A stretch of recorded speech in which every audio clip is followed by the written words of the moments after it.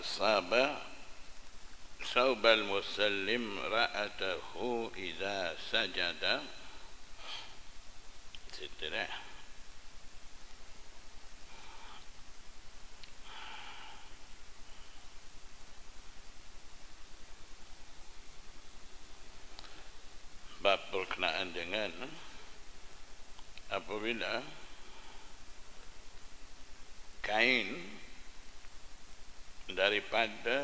semayang tu terkena kepada istrinya apabila musalli yang semayang tu sujud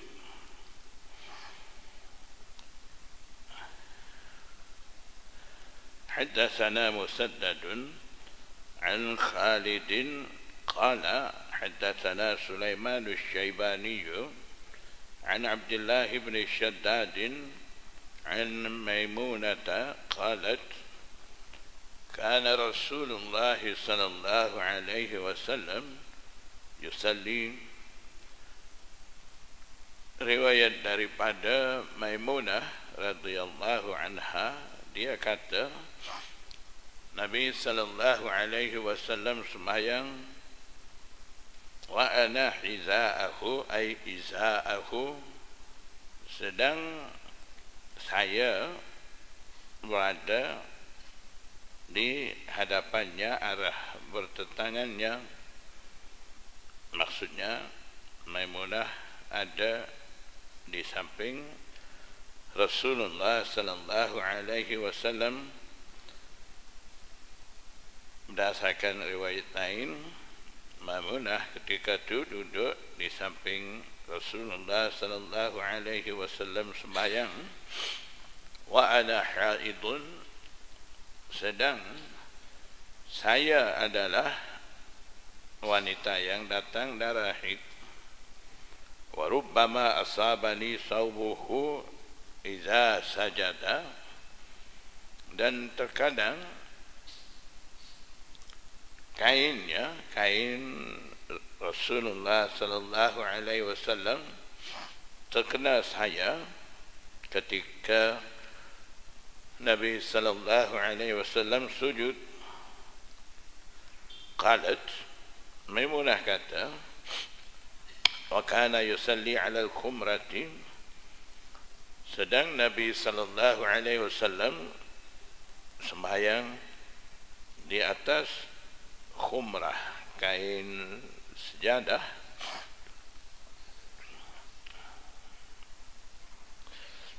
Daripada terjematul bab dan hadis bab ni muhaddisin kata Imam Bukhari mau bagi hilangkan satu ragu-ragu yang mana ragu-ragu itu timbul daripada satu hukum iaitu masul mar'ah sentuh ha, dengan wanita itu naqidul wudu batalkan wudu.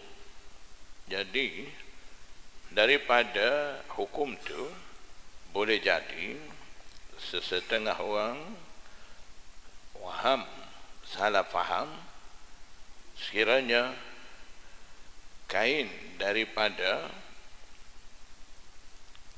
orang semayang itu terkena kepada wanita dalam keadaan orang itu semayang itu mungkin boleh jadi makruh.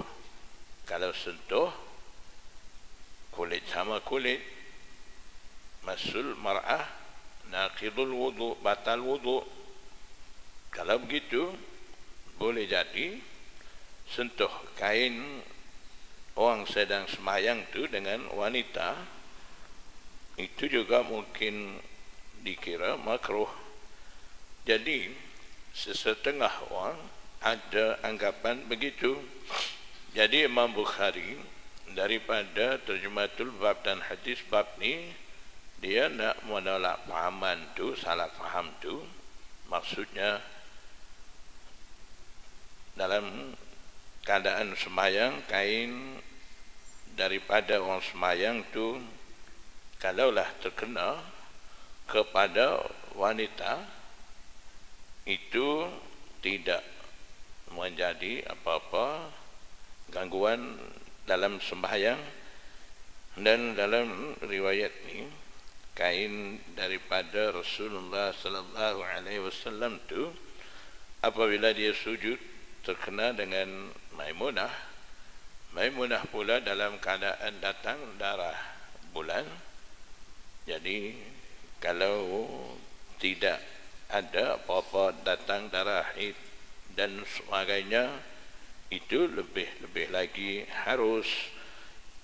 Jadi daripada terjematul bab Imam Bukhari mau nyatakan harusnya tersentuh kain musalli kepada wanita dan itu tidak ha, membatalkan sembahyang. Jadi perbincangan bagi bab ini ialah adakah batal semayang orang itu ataupun tidak apabila terkena kain dia yang sedang semayang itu terkena dengan ha, wanita yang ada, isteri yang ada berhampiran dengan dia semayang itu adakah batal ataupun tidak? Ha, perbincangan utama di sini tentang itu jadi wal hadithu dalun ala sihah. Hadis memberi kefahaman menunjukkan sahnya sembahyang itu bab salati ala al-hasir bab ini datang menceritakan berkenaan dengan sembahyang di atas tikar. Wasalla jabirun wa abu sa'idin fi safinati qa'iman. Jabir bin abdullah dan Abu Sa'id Al-Khudri kedua-dua sahabat tu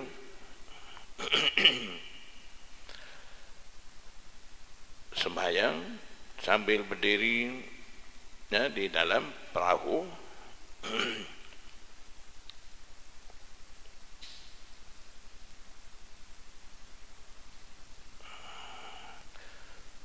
وقال الحسن قائما malam tashuqqa ala ashabika?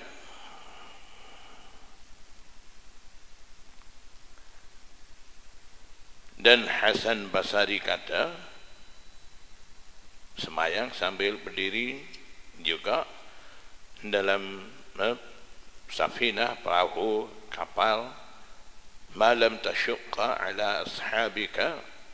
Selama mana tidak menjadi keberatan di atas eh, apa nama teman-teman engkau tu taduru ma'aha berpusing bersama dengannya dengan safinah eh, safinah tu pusing eh, apa nama ke mana pusing ikut ha, pusing bersama safinah itu semayang wa illa faqaidan. Dan jika tidak kalau tidak mampu ha, pusing bersama dengan ha, safinah itu ketika itu boleh ya, apa nama semayang sambil duduk. Maksudnya itu dah jadi masyakkah ha, bagi orang semayang tu ketika tu boleh ha, dia tu semayang sambil duduk.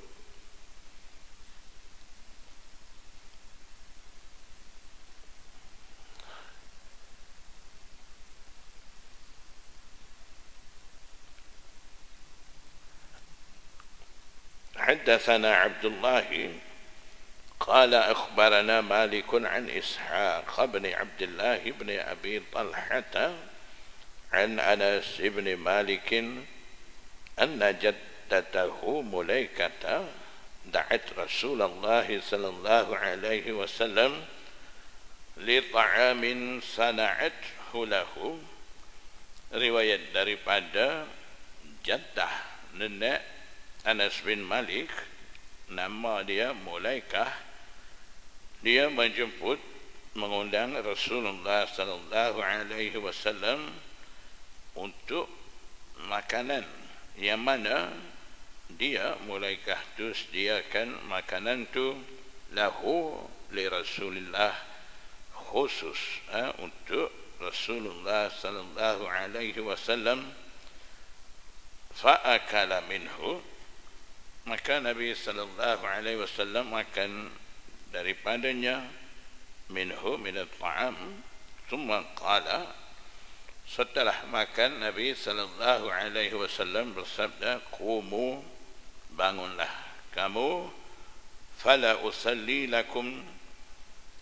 Aku akan sembahyang bagi kamu. Bagi kamu maksudnya faidah ataupun ihsan bagi kamu. Yang tadi li ta'amin sana'at hulahu lahu lam di situ allamu lil ikhtisas. Memberi makna khusus maksudnya sediakan makanan itu oleh mulaikah khusus bagi Rasulullah sallallahu alaihi wasallam. Di sini pula fala usalli lakum lam tu allamu lil intifa' maksudnya dalam memberi makna manfaat Nabi sallallahu alaihi wasallam suruh bangun. Dia mau sembahyang tu tujuannya untuk memberi manfaat kepada tuan rumah untuk dapatkan keberkatan daripada Rasulullah sallallahu alaihi wasallam sembahyang di rumah mereka. Jadi ini bagaikan Rasulullah sallallahu alaihi wasallam menghayati maksud daripada ayat hal jazaul ihsanu illa al ihsan ha, balasan bagi ihsan. Ha, orang berbuat baik itu membalas dengan ha, apa nama berbuat baik juga. Maksudnya mulaikah bagi makan jemput Rasulullah SAW makan di rumah dia? Itu ihsan daripada mulaikah. Nabi sallallahu alaihi wasallam membalas uh, ihsan tu dengan ihsan juga uh, dengan apa nama semayang sunat di rumah. Mulaikah tu tujuannya supaya rumah mulaikah tu ada keberkatan kebaikan dengan sebab Rasulullah sallallahu alaihi wasallam sembahyang eh, di rumah mereka. Qala Anasun Anas bin Malik kata faqumtu ila hasir lana. Saya berdiri menuju kepada hasir. Tika lana kepunyaan kami. Lam di sini pula maksudnya lamul litamlik. Tikar ha, milik kami kepunyaan kami. Qadis wadda min tulima lubisa min ajaliyah. Maksudnya min tuli aili ajli tuli ma lubisa. Qadis wadda tika tu dah pun hitam kerana sudah lama eh, dipakai eh, lama kerana lama eh, tikat itu dah dipakai ataupun eh, kerana lama tidak dipakai gulung eh, begitu. Sebab tu jadi tika ni dah pun hitam dan juga biasanya tika bila tidak pakai gulung taruh ataupun dah lama guna ha, dia akan jadi keras. Fanadahtuhu bima'in sebab tu Anas bin Malik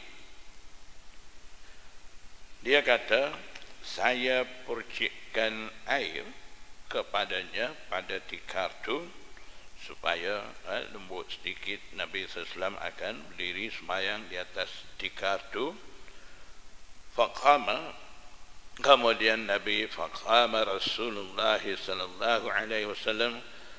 Nabi sallallahu alaihi wasallam bersabda berdiri di atas tikar tu wasafaf tu wal yatima wara'ahu.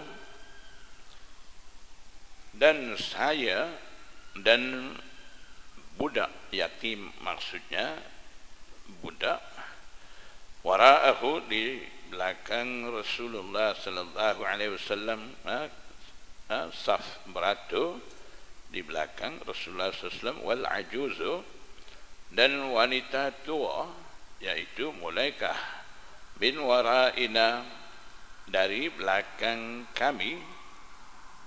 Jadi cara saf ha, sembahyang ni kalau satu orang makmum akan berdiri di bahagian apa nama sebelah kanan imam belakang sedikit kalau dua orang makmum dua-dua akan diri di belakang imam wanita di belakang kaum lelaki. Fasallalana rasulullah sallallahu alaihi wasallam raka'atain maka nabi sallallahu alaihi wasallam semayang jadi imam bagi kami dua rakaat. Summan sarafa setelah itu Nabi sallallahu alaihi wasallam sesudah itu Nabi sallallahu alaihi wasallam pulang ke rumah dia.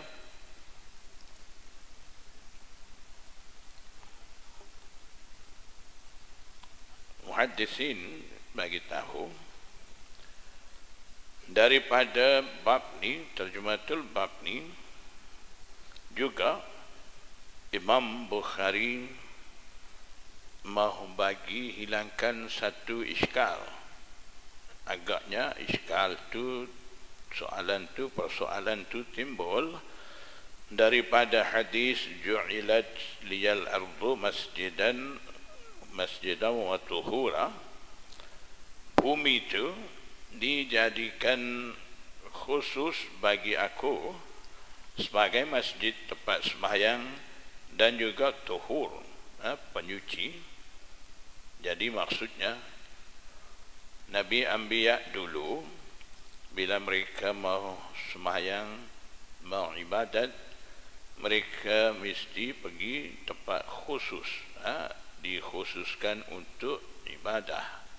Tidak boleh ha, mau ibadat di mana sahaja mereka suka di atas muka bumi. Tapi khususiyah Rasulullah sallallahu alaihi wasallam ni boleh dia dan umat dia apa nama semayang di mana sahaja di atas bumi di tempat uh, bersih. Dan juga bumi dijadikan penyuci maksudnya bumi apabila tidak ada air boleh tayamum dengan bumi. Disebabkan ada hadis begitu sesetengah salah faham dan mereka kata semayang ni mesti di atas tanah di atas bumi. Tidak boleh eh, semayang di atas sejadah papan di tempat lain eh, atas air seperti mana perahu ada atas air dan sebagainya mereka mengambil maksud daripada hadis itu dan itu dikira salah paham terhadap hadis oleh Imam Bukhari. Jadi muhadisin kata Imam Bukhari daripada babus salati alal hasir ni dan asar sahabah di bawah eh, yang mana Jabir bin Abdullah Abu Sa'id Al-Khudri semayang sambil berdiri di atas perahu itu tidak di atas bumi. Dan Nabi sallallahu alaihi wasallam semayang di atas tika. Atas bumi hampa tika semayang itu maknanya daripada amalan Rasulullah sallallahu alaihi wasallam dan asal sahabah amalan sahabah itu sabit. Nabi sallallahu alaihi wasallam dan sahabat-sahabat semayang di atas benda lain yang ada di atas bumi. Jadi uh, apa nama? Bila Rasulullah sallallahu alaihi wasallam salat alal hasir itu dah sabit. Nabi sallallahu alaihi wasallam uh, salat ala ghairil ard sembahyang di atas benda lain selain daripada bumi maksudnya diharuskan uh, sembahyang begitu. Dan tidak boleh uh, salah faham ataupun uh, jadi ragu-ragu dengan maksud ju'ilal liyal ardu masjidan wa tuhura itu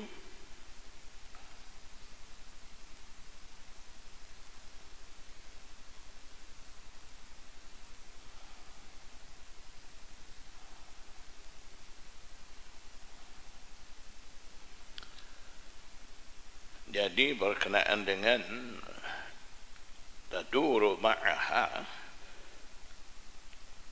yang eh, asal daripada Hasan Basari itu di situ ada eh, berbeza pandangan di sisi eh, ulama di sisi alamah Qustalani dia kata arah mana perahu itu kapal itu Eh, berjalan menghadap jalan.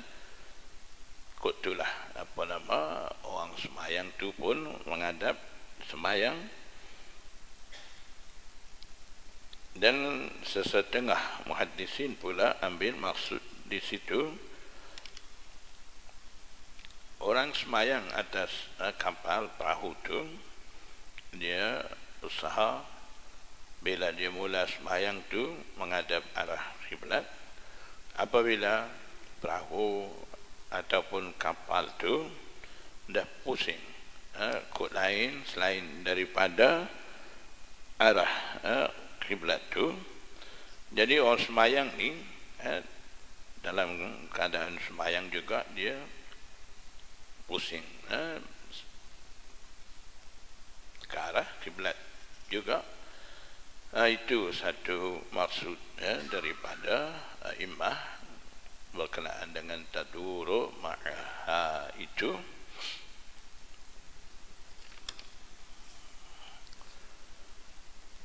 Babu salati alal khumrati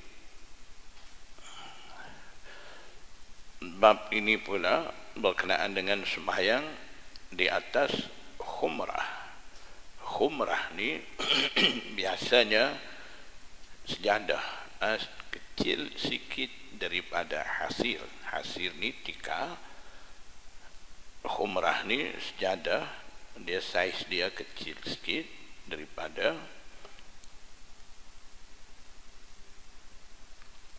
hasir.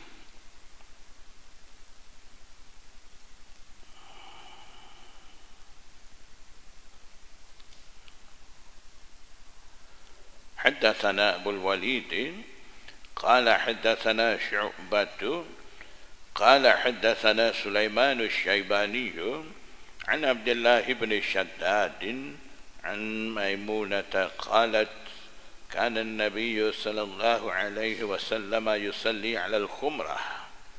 Nabi sallallahu alaihi wasallam sembahyang di atas khumrah tika kecil ataupun sejadah. Saiz kecil daripada hasir. Babu salati ala al-firash. Bab ini berkenaan dengan sembahyang di atas hamparan. hamparan maksudnya hamparan eh, biasanya orang buat tidur eh, di situ atas eh, hamparan tu kain tu sama ada tidur seorang ataupun tidur bersama dengan isteri ha, itu firash di situ mau semayang wasalla anasun ala firashihi Anas bin Malik semayang di atas firash ha, kain hamparan tu. Faqala Anasun كنا نصلي مع النبي صلى الله عليه وسلم Anas bin Malik kata kami semayang bersama dengan Nabi sallallahu alaihi wasallam fayasjudu ahaduna ala saubihi kami sujud dan salah seorang daripada kami sujud di atas kainnya Rasulullah sallallahu alaihi wasallam jadi ada lagi ya, hadis-hadis ya, selepas daripada ni dua tiga hadis lagi. Di situ juga akan uh, kita temu Nabi sallallahu alaihi wasallam uh, sembahyang uh, di atas firash tu. Jadi maksudnya uh, sebelum kita baca hadis-hadis tu maksud Imam Bukhari di sini mula daripada bab salati ala al-hasir di mana orang salah faham tentang hadis ju'ilat liyal ardu masjidan wa tuhura mesti semayang atas tanah. Ha, tidak boleh semayang di atas tikar dan sebagainya. Jadi Imam Bukhari daripada babus salati ala hasir ni nah, menolak. Mai salah fahamnya terhadap hadis tu. Berterusan uh, bab babus salati ala khumrah. Dan sekarang ni babus salati ala firash. Semuanya menolak uh, salah faham terhadap hadis tu. Dan muhaddisin kata ini satu kebiasaan Rasulullah apa nama Imam Bukhari apabila dia berhujah ha, terkadang tidak kata dengan satu hadis satu bab saja terkadang dia bawa ha, beberapa ha, bab dan beberapa banyak hadis ha, istidlal apa nama pandangan dia ijtihad dia tu yang bercanggah dengan apa nama pandangan orang lain dianggap salah faham terhadap mana-mana hadis. Dan juga ada apa nama pendapat daripada sesetengah sama ada di kalangan tabi'i tabi'ut tabi'i. Mereka juga anggap salat alal khumrah itu makruh seperti mana uh, di nakal daripada Umar bin Abdul Aziz. Eh, pandangan dia semayang di atas khumrah ni makruh. Jadi sambil menolak eh, pandangan-pandangan yang agak bercanggah dengan eh, hadis-hadis ni Imam Bukhari bawa beberapa bab dan juga uh, beberapa banyak hadis-hadis sebagai dalil uh, daripada dia حدثنا إسماعيل قال حدثني مالك عن أبي النضر مولى عمر بن عبيد الله عن أبي سلمة بن عبد الرحمن عن عائشة زوج النبي صلى الله عليه وسلم أنها قالت riwayat daripada Aisyah Ummul Mukminin dia kata kuntu ana mubaina yaday Rasulillah sallallahu alaihi wasallam. Saya tidur di hadapan Rasulullah sallallahu alaihi wasallam wa rijlaya fi qiblatihi fi qiblatihi ay fi makani sujudihi sedang kedua-dua kaki saya berada di arah kiblatnya Rasulullah SAW sembahyang yaitu kedua-dua kaki Aisyah radhiyallahu anha berada di tempat sujudnya Rasulullah sallallahu alaihi wasallam. Berkenaan dengan maksud itu hadis ya, berikutnya di situ ya, kita akan baca Aisyah tidur ya, di antara Rasulullah SAW sembahyang dan di antara khiblat tidur di atas hamparan ya, ahli keluarga dia. Ya, jadi hadis ya, selepas daripada ni kita akan temu maksud tu. Faida sajada Ramazani maka apabila Rasulullah sallallahu alaihi wasallam sujud dia cubit ataupun dia cuit saya faqabattu rijlaya maka saya tarik kedua-dua kaki saya disebabkan hujrah Aisyah radhiyallahu anha sempit ha, bukan Rasulullah SAW duduk rumah luas, rumah banglo, tidak hujrah bilik Aisyah tu berhampiran ha, dengan Masjid Nabawi. Biliknya sempit. Jadi tempat tidur tu juga di atas firash hamparan ha, tu juga Rasulullah SAW bangun waktu malam tu semayang. Aisyahnya tidur. Jadi kaki Aisyah ada di tempat Rasulullah SAW nak sujud tu. Bila Rasulullah SAW nak eh, sujud, pergi sujud, tangannya eh, turun dulu, eh, pergi apa, apa nama setelah eh, letak lutut, bila nak pergi sujud tu, tangan eh, sampai pergi sama ada sejajar dengan uh, bahu ataupun uh, muka bermakna di situ ada kaki Aisyah tu Nabi SAW sentuh uh, dengan apa nama tangan dia. Bila disentuh ataupun dicuit Aisyah tarik kaki dia supaya ada ruang Rasulullah SAW sujud. Faida qama Maka apabila Rasulullah sallallahu alaihi wasallam berdiri basattuhuma Aisyah kata saya luncurkan semula kedua-dua kaki itu jadi Aisyah tak nak tidurlah. Gitu bila nak sujud tarik kaki dah bangun kiam letak balik kaki. Tak lama nak sujud pula tarik kaki pula. Bangun kiam tu lunjuk balik kaki. Untuk main gitu kah Rasulullah SAW semayang malam seperti mana kita dah tahu dalam riwayat-riwayat lain ada Nabi sallallahu alaihi wasallam qiyam lama kadang-kadang satu-satu rakaat baca surah Baqarah pun ada lama.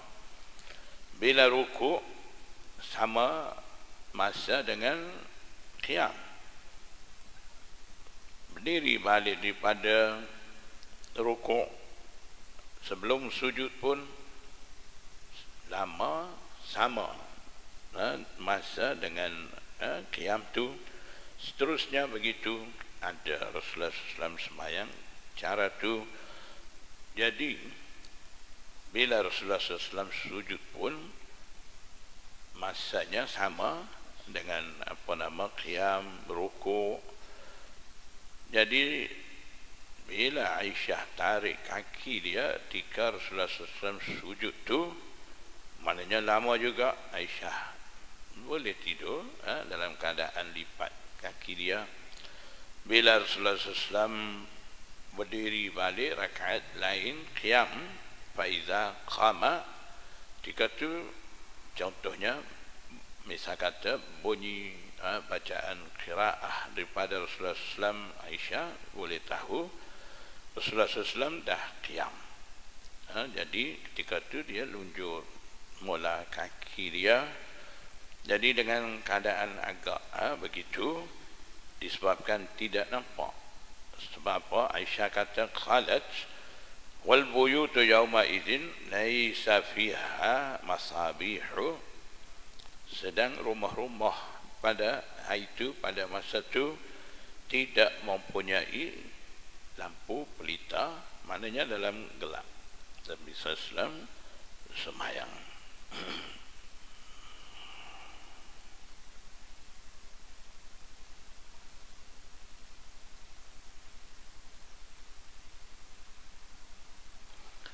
حدثنا يحيى بن بكير قال حدثنا الليث عن بكير عن ابن شهاب قال أخبرني عروة أن عائشة أخبرته أن رسول الله صلى الله عليه وسلم كان يصلي رواية عائشة juga Nabi sallallahu alaihi wasallam sembahyang wahia dan dia Aisyah tu bainahu di antaranya di antara Rasulullah SAW wa bainal qiblah dan di antara qiblat ala firashi ahlihi Aisyah ada di atas hamparan ahli keluarganya. Maksudnya kain hampat tidur suami isteri tas itulah dia tidur. Itiradul janazati dia tidur melintang di antara Nabi sallallahu alaihi wasallam sembahyang dan kiblat tu. I'tirad al-janazah seperti mana lintangan jenazah ha, dia tidur situ حدثنا عبد الله بن يوسف قال حدثنا الليث عن يزيد عن عراك عن عروة أن النبي صلى الله عليه وسلم كان يصلي وعائشة معترضة بينه وبين القبلة رواية daripada Urwah bin Zubair Nabi sallallahu alaihi wasallam sembahyang sedang Aisyah mu'taridatun tidur melintang bainahu wa bainal qiblah di antara Rasulullah SAW dan di antara qiblah al-firash alladhi yanamani alaihi Aisyahnya tidur di atas hamparan yang mana mereka berdua yakni Rasulullah SAW dan Aisyah tidur di atasnya. Jadi maksudnya Nabi sallallahu alaihi wasallam bila sembahyang dia cuit kaki Aisyah tu eh, supaya tarik kaki biar ada ruang untuk dia sujud. Bermakna Rasulullah sallallahu alaihi wasallam ketika tu sembahyang alal firash. Eh, di situ juga.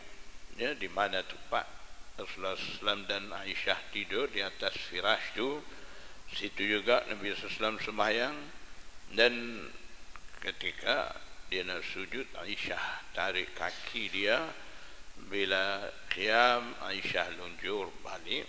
Jadi maknanya di atas firash tu hamparan suami isteri tidur.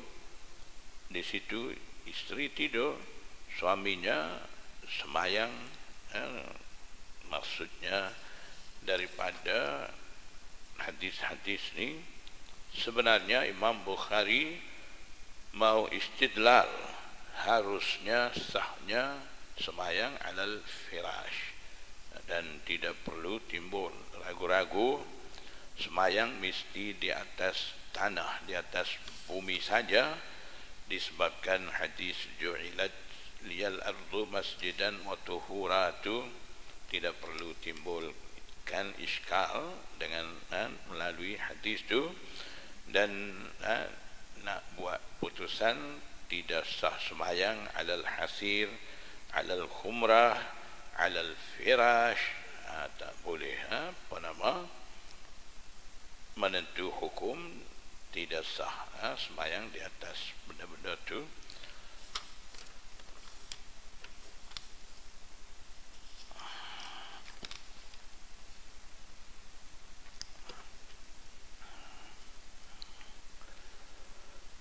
باب السجود على الثوب في شدة الحر. باب ini sujud di atas kain ketika terlalu panas وقال الحسن حسن بصري كتب kana al-qawmu yasjuduna 'ala al-imamati wal qalansuati wa yadahu fi kummihi. Kaum tu maksudnya kaum di sini sahabat-sahabat sujud. Di atas imamah kain surban kalan suah sokak piah. Dan juga kedua-dua tangannya ada di hujung tangan eh, baju. Kum ni ni apa nama ni hujung tangan tu panggil apa? Eh? Ha, lengan tangan ha, maknanya tangan baju tu ha, begitulah labuh. Jadi tangan tu dalam kain tu fi kumbihi sebabnya kerana terlalu panas ha, sahabat-sahabat semayang di Masjid Nabawi ketika tu tidak ada mozaik macam sekarang. Tidak ada permaidani sujud atas tanah. Lepas tu masjid pula masjid Nabawi. Tiang batang kurma bombong lepah tambah. Bila hujan air hujan masuk. Bila panas panas matahari masuk. Jadi panas. Ha, tempat sujud tu ketika nak semayang ha, tengah hari jadi sahabat-sahabat maksudnya lapik kain. Kadang-kadang serban eh, kelansuah tangan pula. Disebabkan terlalu panas nak letak tapak tangan tu tapak tangan ada dalam apa nama lengan baju tu. Jadi daripada asal tabi'i Hasan Basari yang menyatakan amalan sahabat dan juga bawah ni ada hadis marfu yaitu haddatsana Abu Walid Hisham bin Abdul Malik قال حدثنا بشر بن المفضل قال حدثني غالب القطان عن بكر بن عبد الله عن أنس بن مالك قال كنا نصلي مع النبي صلى الله عليه وسلم Anas bin Malik kata, kami semayang bersama dengan Nabi sallallahu alaihi wasallam fayadha'u ahaduna tarafas sawbi salah seorang daripada kami meletakkan hujung kain itu min syiddatil harri fi makanis sujud. Min ajaliyah li ajli syiddatil harri kerana terlalu panas letak hujung kain tu fi makanis sujud di tempat sujud. Jadi daripada hadis ni dan asar sahabah amalan sahabat yang dinakal oleh Hasan Basari. Daripada situ dapati orang semayang tu dia sujud atas uh, kain. Boleh. Jadi boleh tu di situ ada khilaf sedikit di sisi a'immah.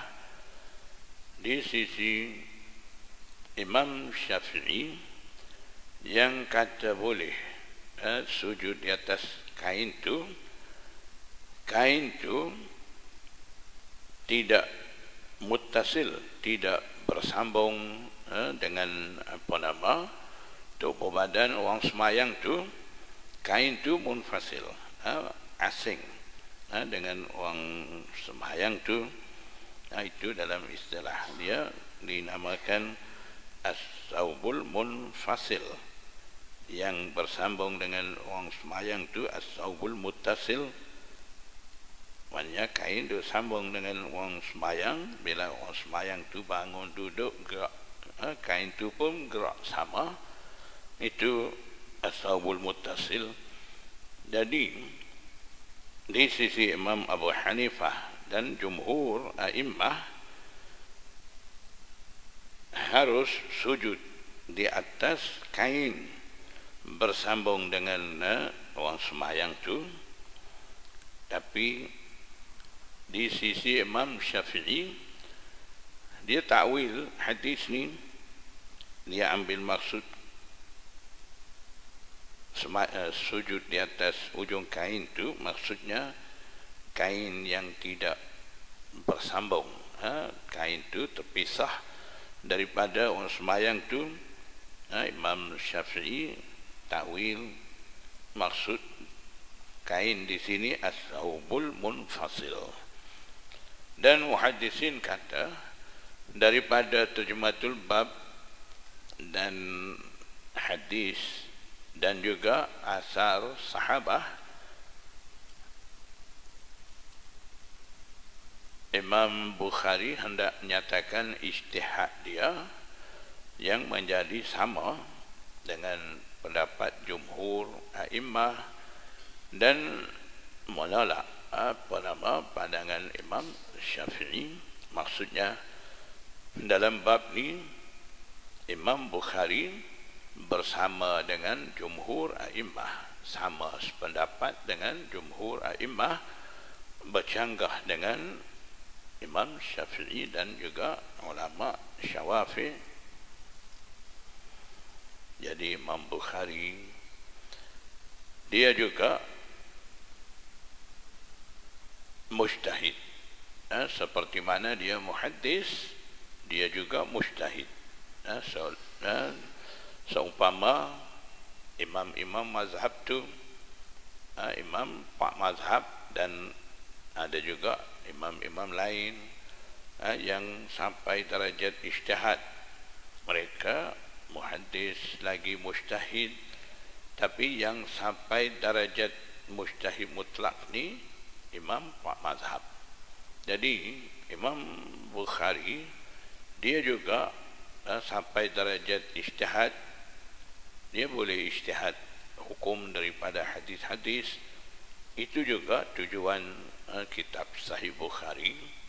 Imam Bukhari adakan terjematul bab bagaikan ijtihad dia dan hadis di bawah tu asarus sahabah dan sebagainya itu merupakan dalil bagi ijtihad dia.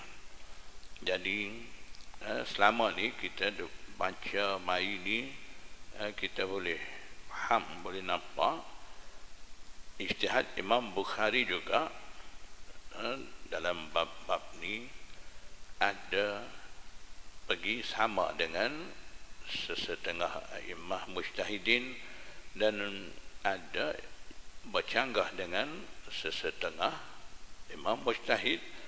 Terkadang ijtihad dia berpihak eh, pandangan Imam Malik bercanggah dengan Imam Salasa terkadang pandangan dia sama dengan jumhur Imam dan uh, bercanggah dengan Imam Syafi'i uh, seperti mana dalam bab ni.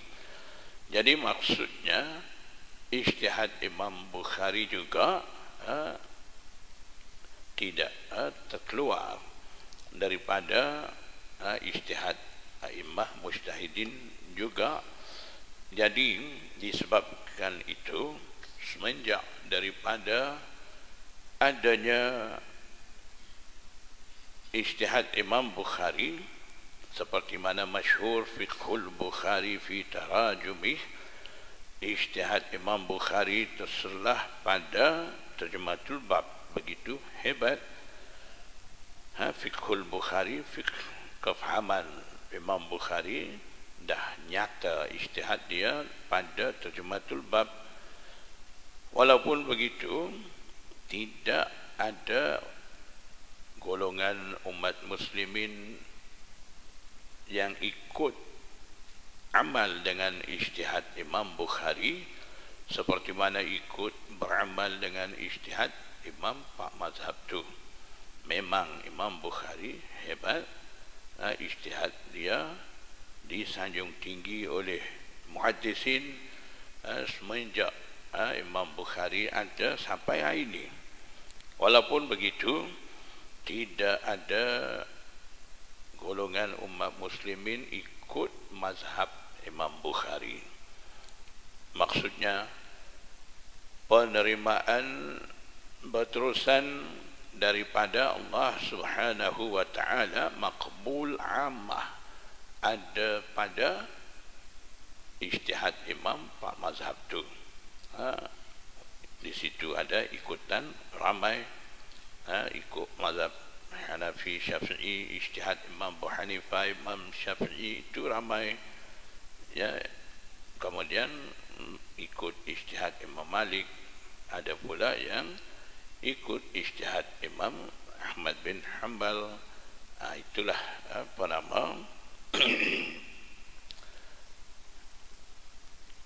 Cara ijtihad ha, daripada imam-imam mazhab dan ha, apa nama imam pak mazhab ijtihad mereka tu ha, dapatlah apa nama kedudukan tinggi dan makbul ammah. Uh, sampai hari ini uh, masih lagi ramai mengikuti dan sanjung tinggi dengan ijtihad dan pandangan-pandangan daripada imam-imam mazhab tu